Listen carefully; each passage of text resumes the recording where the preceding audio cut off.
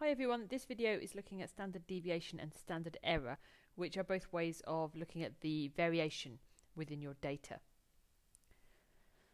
Okay, so if we start with standard deviation, um, as a just sort of a general introduction to what it is, let's imagine that we have um, a class and they've done a test. So here we're going to uh, look at their test score as a percentage against the frequency, so the number of students who got those scores. And in this particular class, when you do that, uh, we find the mean test score is 50%, and if you plot the data, you get uh, a roughly normal distribution that looks like this. Now, if you calculate standard deviation, and we'll look at how you calculate it in a minute, but you end up with a number.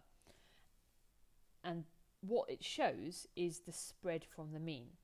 So if this is the mean in the middle, the standard deviation goes out on either side and in this case here the standard deviation is quite small which means that it doesn't you don't go very far from the mean to get out to where the curve is.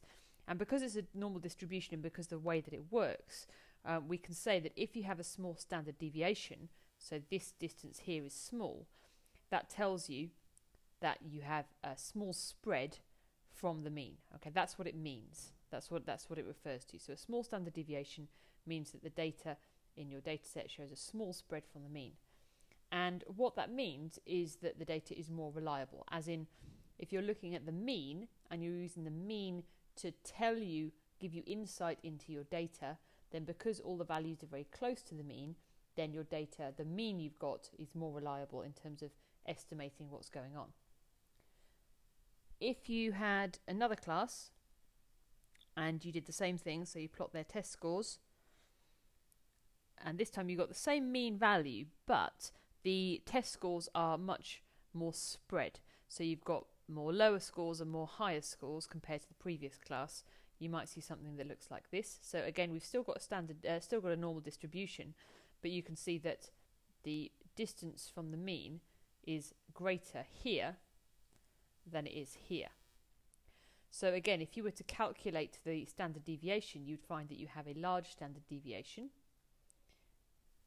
and that tells you that we've got a large spread from the mean and therefore your mean is uh, is less reliable in terms of indicating what the data is doing because we've got a lot of data which is much smaller than your mean value and we've got a lot of data which is much larger than the mean value.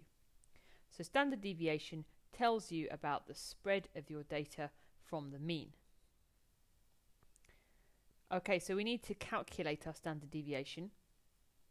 Um, and to do that, we're going to look at a couple of examples. We're going to use an example to help us. So let's imagine we've got a farmer, and it's a carrot farmer, and so she has uh, she's got some carrots she wants to plant, and she wants to maximise her yield. So there are two fertilisers, and she wants to compare which one gives better results um, in terms of the length of carrots that she grows. So one field she puts Miracle-Gro on, and the other field she puts Grow More. So we've got two different fertilizers. So she adds the fertilizers and she lets the carrots grow. There we go. And then once they've grown, she digs up a carrot from Miracle-Gro, has a look at it, measures the length, and digs up a carrot from Grow More and measures the length. Um, and she can see that the carrot in Miracle-Gro is bigger than the one in Grow More, but of course she knows that that is not necessarily representative of all of the carrots in each field and so she needs to take a bigger sample. So she takes eight carrots as her sample from the Miracle-Gro field, measures the length of all of them, takes the mean, and finds they have a mean length of 8 centimetres. And then she does the same thing with Grow More. She takes 8 carrots as her sample and finds a mean length of 6.5 centimetres. So again, it looks as if, so we've got a larger mean in uh, Miracle-Gro compared to our Grow More, but um, we know that just looking at the mean might not be representative of the data. So uh, she wants to calculate the standard deviation so she can see the spread of her data from the mean. So to do this, you have to look at all the data. Let's put it all out there. And then you can see the means that we've calculated here. And what we're going to do is we're just going to calculate, we're going to run through the calculations for Miracle-Gro only so you can see how it works. Now you do not need to remember the equations for calculating standard deviation. you just need to know how to use them. So first of all, um, the mean for Miracle-Gro is 8. And here, when it says this, this symbol here means X bar. So we say X bar, that means the mean. And it's X bar 1 because it's talking about this first data set here. So we're only talking about Miracle-Gro And then again, there's X bar. Again, that means the mean. So the first thing you have to do is you have to take each data set in turn, or data point, sorry. So first of all, if we take 5, so the first data point is 5, we take 5 and then we have to do 5 minus the mean. So the mean is 8. So 5 minus 8 gives you minus 3.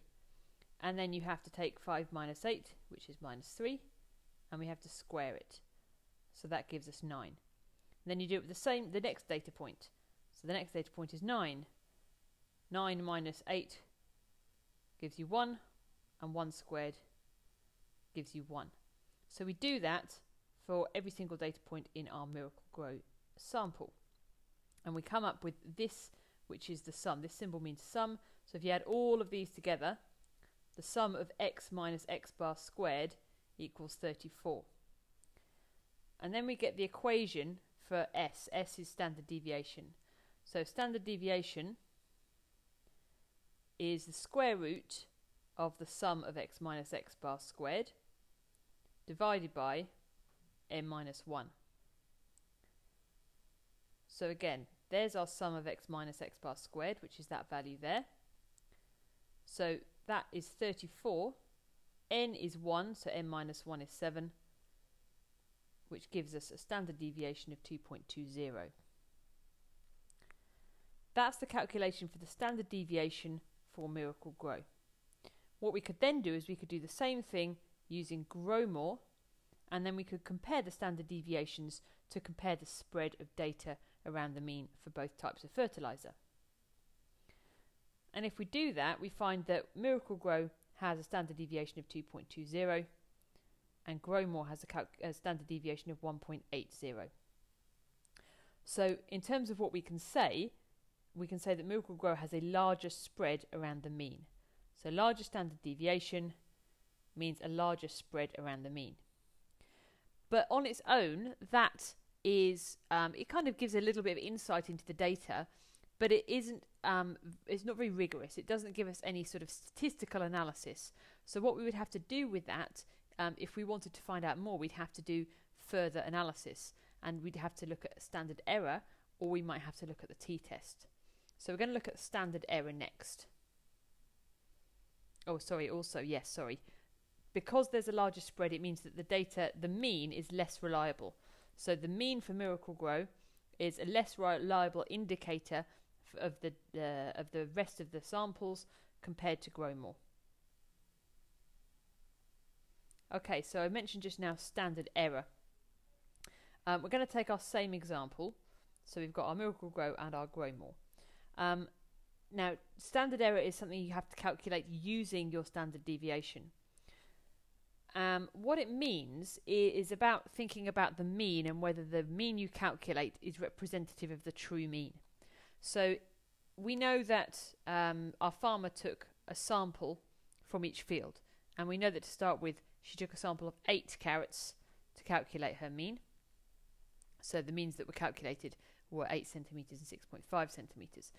Standard error is about saying this mean that we calculate here, is that representative of our whole sample. Because let's say that we didn't take those eight carrots. Okay, let's say that instead of those eight carrots, we took um, a different eight carrots.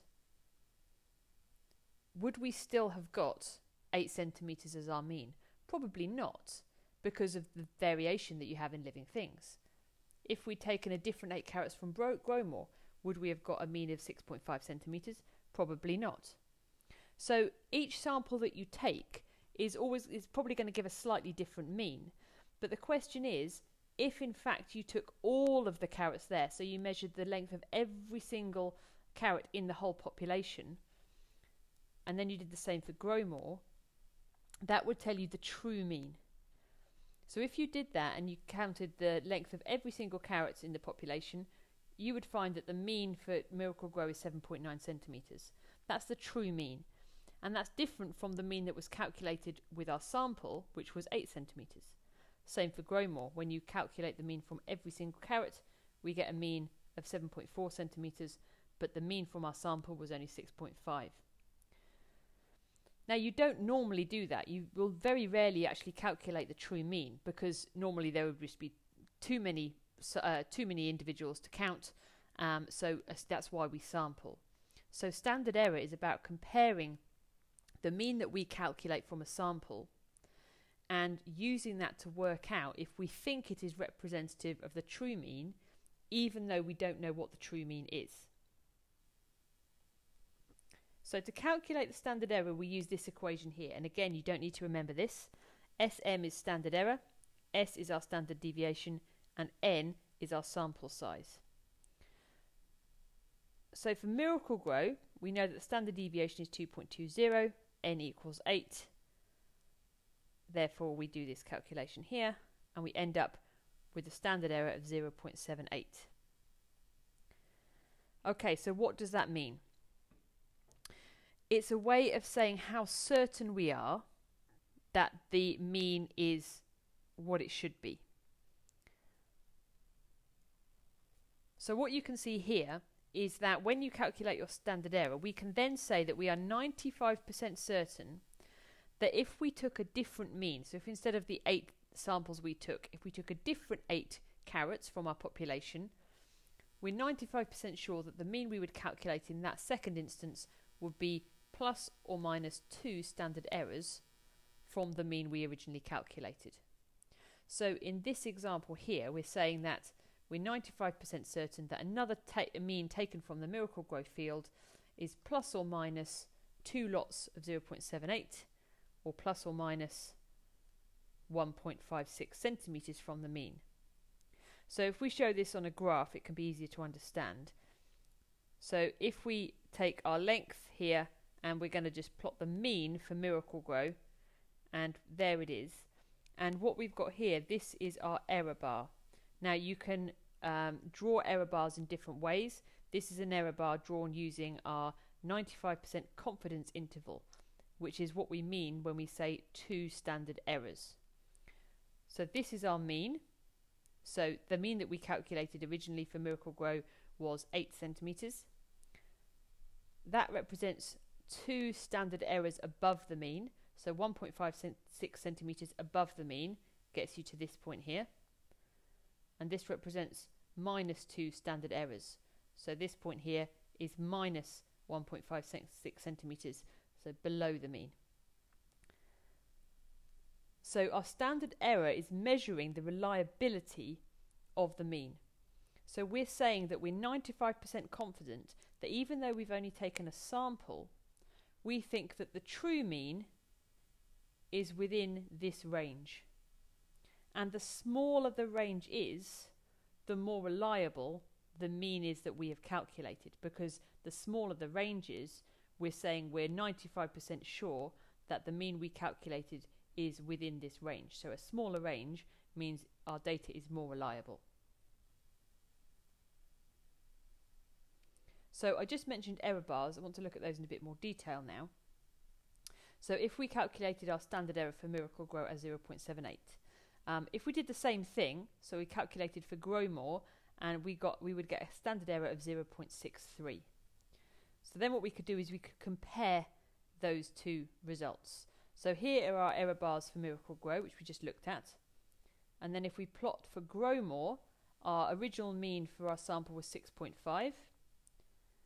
And so if we put our error bars, so two standard errors above and two standard errors below, then it looks like this. Now let me just go back a little bit. So what we're looking for is whether the error bars overlap. So that's what these red lines are. We can see that this error bar here overlaps with our range for our possible uh, placement of our true mean on Growmore. And then again, the top range here overlaps with our error bar. So we've got this area here where there is overlap uh, between the, our, uh, our possible range of mean values. Now, what does that mean? if there is an overlap, then it's telling you the difference between the means of the two sets of data is not significant. What that means is, even though we've calculated our mean here as 8 centimetres, our standard error tells us that it could actually be anywhere within this range because we're 95% sure the true mean falls within plus or minus 2 standard errors. And the same here. We calculated our mean here, but actually it could be anywhere within this range. So it's possible that the mean for Miracle-Gro is actually somewhere here and the mean for Growmore is somewhere here. So they could be the same. So we can't be confident, we can't be sure that the means are different, and we definitely can't be sure that Miracle-Gro is bigger than Grow More. It's not significant. Now, error bars can tell us something different as well. So let's just assume that actually when we did our calculations, let's say our data was totally different. And in fact, our data, when we calculated it out, we had these as our standard errors. So if I just get rid of all of that and then I plot my error bars again to represent our new standard errors, so again we're just imagining a different data set, then in this instance you can see that there is no overlap. The bottom range for this error bar does not overlap with our error bar range here. So in this instance, there is no overlap between our error bars. Now that tells us that we have to do a t-test. So it's telling us that it is possible that there is a significant difference between the mean of Miracle-Gro and the mean of Grow More. It's possible. But we don't know that unless we do a statistical test. So if there is an overlap in our error bars, we can say that there is no significant difference. If there isn't an overlap, then it's possible that there is a significant difference, but we need to do a t-test to check. One final thing then uh, about reliability. We can also use error bars in data if you have uh, a line graph. So let's say that we looked at the mean length of uh, carrot, but we put different masses of fertilizer on. So let's say we just use Miracle-Gro, different masses of fertilizer, and we had these results here, which is the mean value at 5, 10 and 15 grams of fertilizer added. If you also calculated your standard error and you got your error bars, um, then we could put those on as well. But without the error bars, this is the conclusion. This is the conclusion that you would make. So you'd look at this data and you think, oh yeah, as we increase in mass, we increase in mean length. The question is, if that's our conclusion, is that conclusion reliable?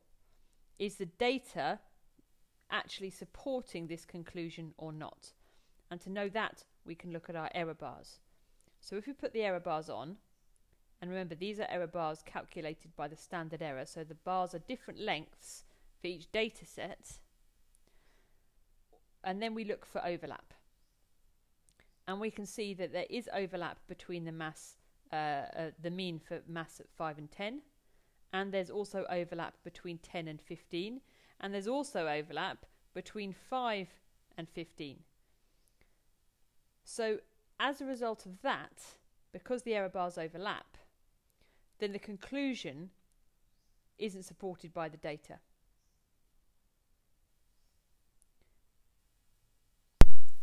We could also compare the reliability um, between our data points.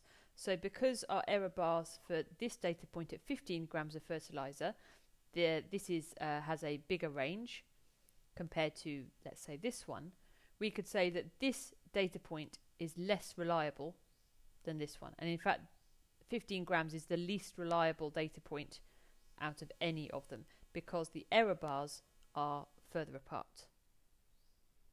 Okay, there's a lot of information there. Hope that's okay. Um, we will go from here to then look at how we use our standard deviation to calculate t-tests and what that means.